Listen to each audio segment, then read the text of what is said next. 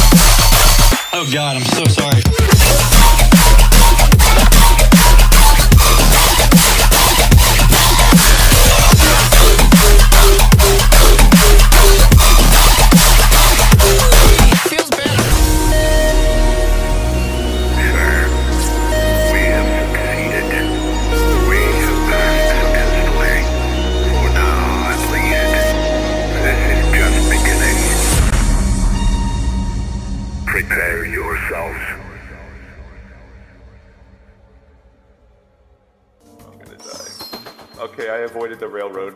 Is that is that the green? Oh my god! You can't buy this property. Get She's it? gonna. Oh my, what is this?